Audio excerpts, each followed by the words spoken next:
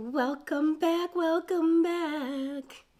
Uh, yeah, I missed yesterday because of my allergies. I warned you that may happen, but I'm back.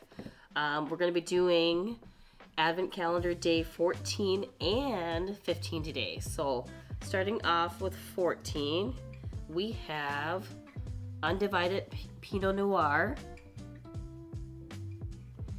And let's see, vintage is 2021. So, this is a French wine. Hmm, so we'll see. We'll see how it tastes and how it smells. Just a little bit. Just a little bit. Let's see here. So this undivided Pinot Noir is actually $14.99. So out of all the bunches so far, I think this is the most expensive. I haven't heard of this brand, so we'll see how it smells and how it tastes. So, so far, I do not like the smell of it. It's kind of got a, um, it's kind of like a sour, wet cardboard smell. I don't know how to explain it. So hopefully the taste is a little bit better.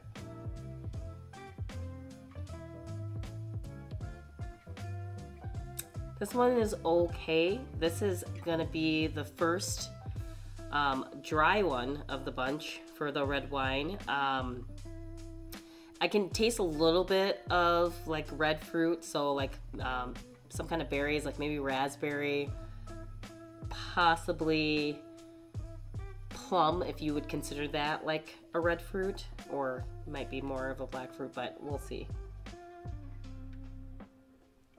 Yeah, so that's gonna be a little bit of raspberry. Um, we'll say plum. Um, there's a hint, just like a little bit of spice that I'm getting in there. And I read online that um, some people are getting a hint of vanilla. I don't get any vanilla in this. This is really dry.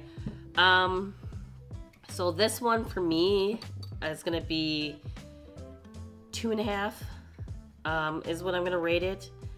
I don't know if I'd buy this again. Already, I'm drinking it right now, and just those few little sips kind of giving me a little bit of heartburn. So, yeah, yikes. I don't think I would buy that one. But again, it's $14.99, undivided Pinot Noir. Um, I'm gonna move on to 15, which is gonna be, I probably should have started with 15 first. I kind of wish they would have set up this advent calendar that it was kind of like um, whites to reds and like, you know, dry to sweet or sweet to dry or whatever. Because um, I feel like that sometimes ruins my taste when I start with a red and then I go to a white, and maybe that's the reason why some of the some of the times it doesn't taste that well. But number 15 is gonna be Grand Sud Sauvignon and it looks like the vintage is a 2021. Um, let's see how this baby tastes. This one is gonna be $10.99. And we'll see. Let's see how it, ooh, this smells really good. Very, very citrusy, fruity. A little mixture of both. It smells good. That's dry. I do like dry wines, but this, you know, it's weird. It tastes more like a Chardonnay, and ooh, this is oh for 2 for me. So this one is very dry. I did chill it, so I know that's not affecting it, but um, citrus, the, the aromas of it is a little bit like floral, so I it's got like a flowery smell, but the taste is really dry. It is, it does have a hint of fruit, but it's like a bitter fruit, like lemon or lemon is the only one I can come up with because I don't know any other one that's like citrusy that um, has this flavor. But yeah, we'll taste it one more time. Just to be sure.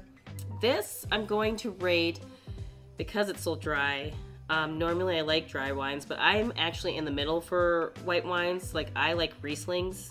Um, I can handle Moscato every once in a while, but it's just, it's too sweet for me. I used to drink white wines all the time, and then my sister got me um, turned on to drinking red wines. So now I'm more of the dry, semi-dry um, type of drinker. But this one I'm gonna rate probably a one and a half. It wasn't my favorite, um, and I'm comparing this to the other, the, the same brand, but the Chardonnay. Um, that was actually much more pleasant and much more um, pleasing to the palate and the nose. So this one, yeah, I'm, mm, yeah, I'm gonna say one and a half. I probably wouldn't buy this again. Um, and I actually don't like it um, so much that if someone even were to offer it to me, I probably wouldn't drink it. I'd be like, hmm, pass it off to someone who likes it better. But um, that's gonna wrap it up for the two. I will try to get the number 16 done tomorrow. It is my birthday weekend, so I may, I may not, you know, partake in it, but um, we will try to get one out before we head up to Duluth. Um, again, you can get these at Total Wine. The Undivided Pinot Noir is $14.99, and the Grand Sud Sauvignon Blanc is $10.99. So if you would like to try it, that's where you can pick it up. Until next time, I'll see you tomorrow. Peace out.